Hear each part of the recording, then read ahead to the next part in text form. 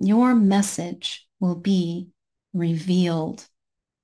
It's not found out there. It's not something you have to work for.